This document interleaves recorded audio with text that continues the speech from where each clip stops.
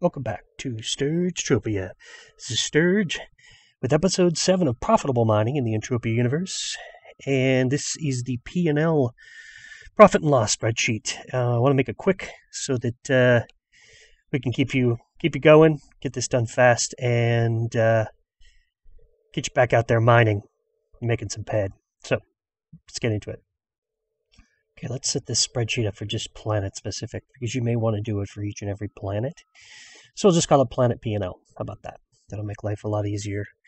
Then you can do whatever you want. And then we're going to just put in some more fields like base total and then overall percent, yeah, base total and PED, and then like overall percent return. So you can see it in a, as a positive or a, hopefully, a positive number it is there are going to be times when it isn't always positive so that's just uh, something you got to keep in mind.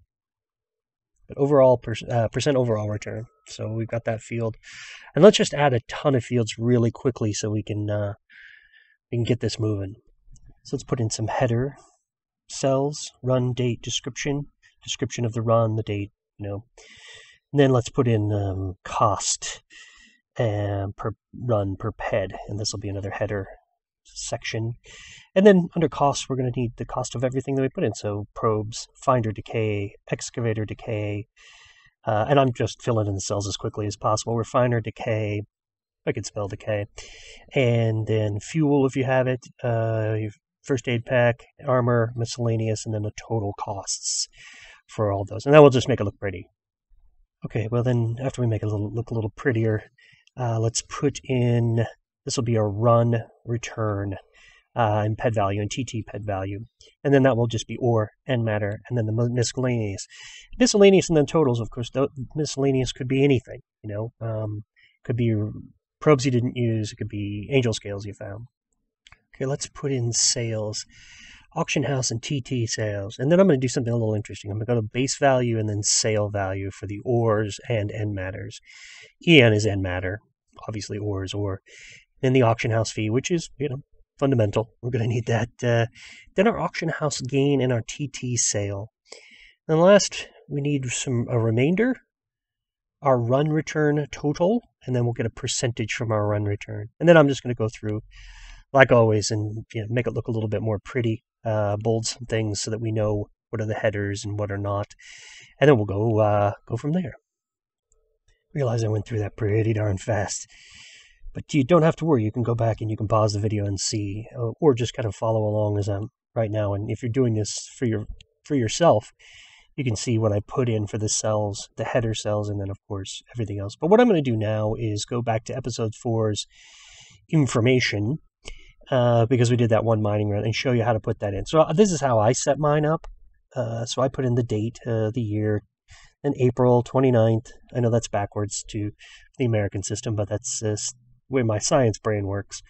And then I'm going to put in the description section what finder I use, which was the F105. I'm going to put in what uh, um, excavator I use, which is the RE101.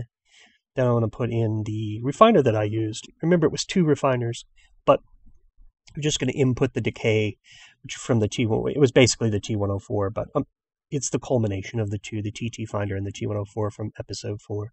And then I'm going to put what I started with. So we started with 50 PED in probes. Uh, our Finder decay was what, uh, 574, about yeah, 57.4 PEC, 0.574 PED. Uh, the excavator decay was 43.3 PEC or 0.433 PED. And then the combined refiner decay was 25.4 PEC or 0.254 PED. So we didn't have any fuel costs because remember I, made that mistake and uh, my fuel cost was like a quarter of a PEC at the most. I'm not. You should include it, but I'm not just in this particular deal. And then the other option here is to go through and you know if there's armor or miscellaneous or whatever, add those totals in. There isn't any for this particular run. So now I'm just going to add these up. And you could do this a couple of different ways. It just depends on what you want to do. You can kind of click cell to cell. So B8 plus C8 plus D8 plus E8 plus F8 plus GH, and blah, blah, blah, blah, blah, down the road, right? Uh, that's one way you can do it. I, I have mixed emotions because sometimes I want to be able to come back and change a particular cell for something, and I want, but I want, I don't want to go change the formula again, then drag it all the way down. But the other way to do this is to actually just go in there and type in sum. So like right here, I'm just adding I8 in there. But the other way to do this is to, to take that particular formula and go back up to the top and say, all right, I want to sum over all of these cells, and then I'm going to drag that down, you know, to a thousand or whatever the whatever the case may be. This is probably a better way to do it for this setup, is the summation, uh, and just because it's easy to drag it, and then boom, you get the same exact number. So that's that's the option there, and uh, let's just move on to the return. All right, the it was just a uh, Lysterium was that uh, was that mining run, and it was uh, 28.67 PED of Lysterium, no Enmatter. And in this case, I'm going to put in the miscellaneous. I'm going to put the remaining probes that I didn't use, which was 22 ped worth of probes, right? And now I just need to total up these columns. And again, I'm going to use summation here, the uh, the sum function, because it's pretty fast. Sometimes I I will do it differently. I'll just go plus plus plus, but in this instance, I'm just going to do the summation uh, function. So in the instance of that previous mining run, we didn't sell all of the Lysterium, right? So there's, you know, I'm just gonna I'm just gonna put the numbers in. We actually ended up selling 28.02 PED of the Lysterium, uh, and the sale for that was 29 PED. All we need to do is add the auction house fee, which was 0.54 PED and calculate the gain, which is the ore sale value, which is 29 PED, minus the ore base value plus the auction fee. And that'll give us our, uh, should be 44 PEC. But that, uh, the bit. I had, to, had to actually type it in because it was, uh, the cell was overcoming. Yeah, there we go, 44 PEC. So that works out pretty good. So we got that all set up. Then we're going to put in the TT sale uh, value because we had to TT the um, the, the probes that we use, we didn't use. So that you that's this is all the manual cells and how to keep track of that. And then of course we didn't sell 0.65 PED of the Listeria. So this is a really basic run. This could be a lot more complex. The TT cell could be a lot more complex. There could be ores.